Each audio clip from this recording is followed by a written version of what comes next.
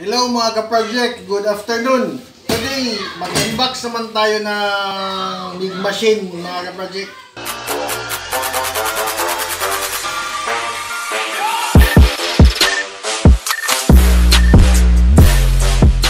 Project.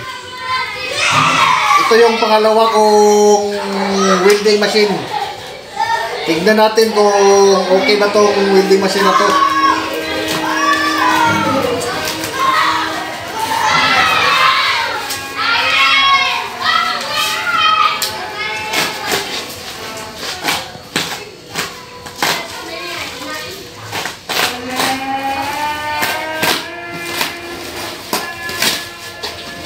Pwede naman ini maikuan, no?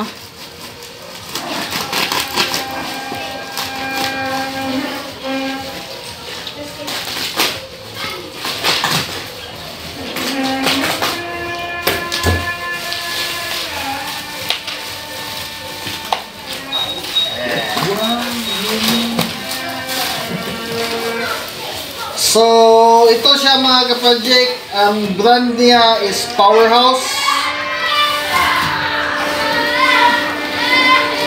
Powerhouse, tignan natin sa loob kung okay ba yung makina niya tapos ano yung mga freebies.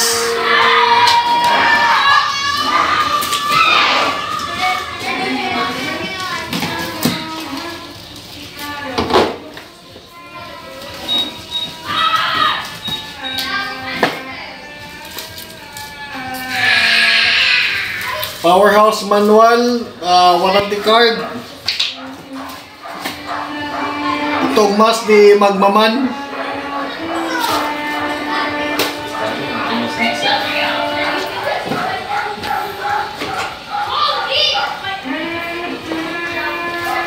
Yung mask na to mga ka-project parang wala to.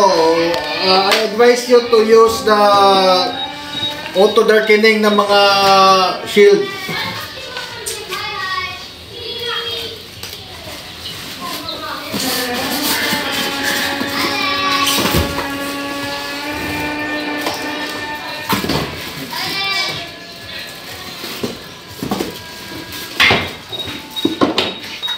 May kasamang shoulder strap. May kasamang toothbrush. Gusto nyo mag-toothbrush mga ka-project toothbrush. So once again mga ka-project ha, Powerhouse Built Torch. Amig machine. Wow! Astig yung kulay niya mga ka-project oh.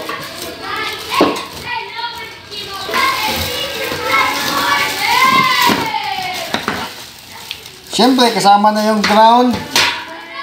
Saka yung... May kasama din siyang coil mga ka-project. Pero parang isang kilo lang yata to. Magkano, ilan na to? Ah, 0.45 kilogram. Mamaya-maya mga ka-project, subukan natin siya kung ayos ba yung ano talaga yung diferensya para makita yung diferensya sa stick wheel tsaka tong MIG wheel. Dito mga ka-project, lalagyan ng coil. Diyan natin nilagay ang coil, i-feed natin dyan. Dito, dito pala. So mamaya ipakita natin kung paano siya i-feed, paano gamitin. Ah, uh, yan lang muna. Mga ka-project, ngayon mga ka-project, ipakita ko sa inyo kung ano yung diferensya ng MIG machine versus yung stick wheel.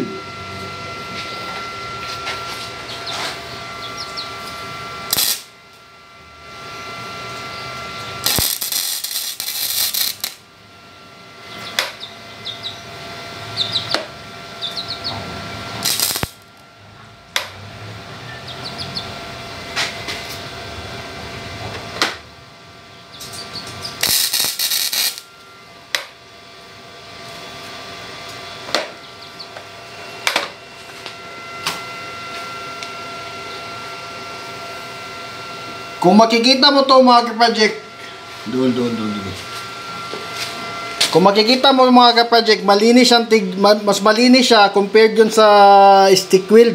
Tapos maliliit yung ano niya, maliliit yung flux.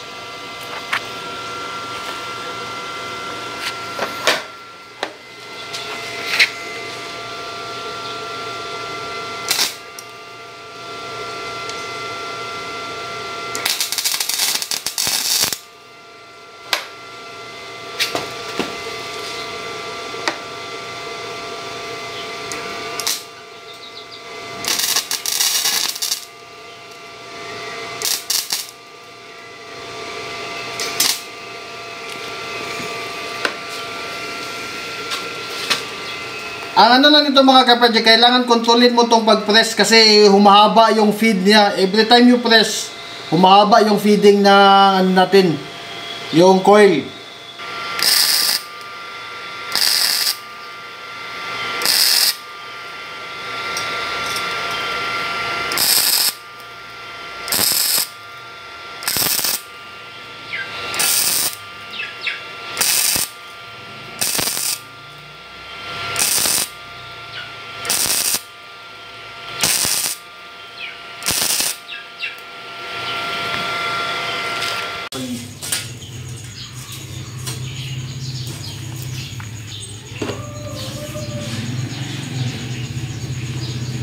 Hirap talaga ito mga ka-project basta hindi tayo mag-upload kasi sariling sikap, eh, do it yourself na lang tayo magawa ng lamisa. Char lang.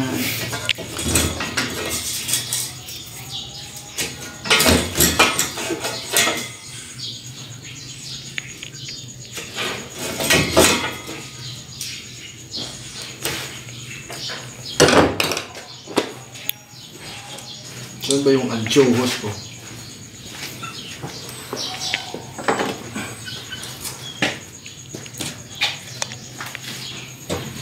Mga kapajik, sa pagtrabaho nito mga da- huwag kalimutan na magamit ng mga PPE mga kapajik ha. Importante mga kapajik, yung gloves, apron, tsaka goggles. Mag-cutting, ah, welding,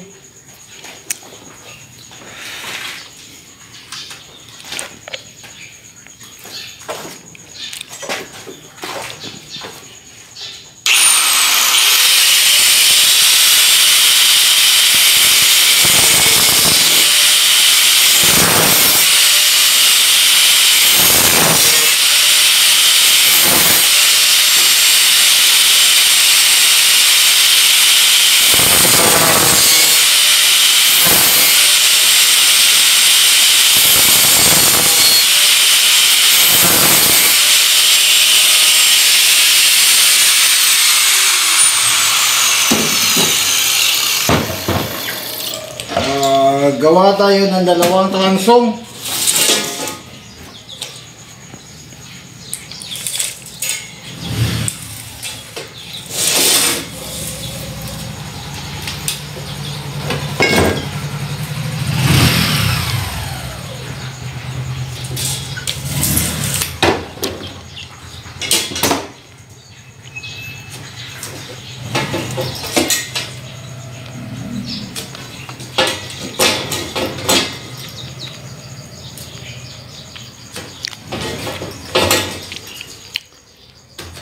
Kailan pa kaya tayo magkakasahod dito YouTube na to mga project?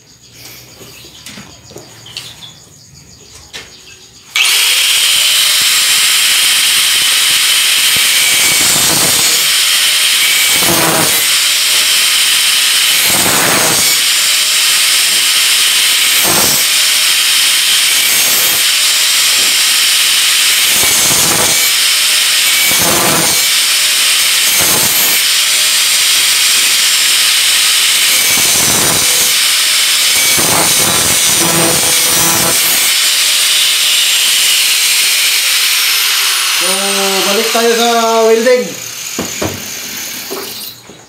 Huwag kalimutan mga project tanggalin sa plug kung hindi ginagamit yung mga power tools natin. Mga. So mga ka-project, ayun, ah, yun ang big machine ah, natin, yung powerhouse. Tapos I hope na may natutunan kayo dito sa DIY ko na lamesa para sa mga anak ko. Ah, kung may mga katanungan kayo, please don't ah, message lang tapos ah, sasagutin ko yan. Ah, online, mag-online ako, naka-online ako araw-araw. So maraming salamat at kita-kita sa mga next project. Salamat!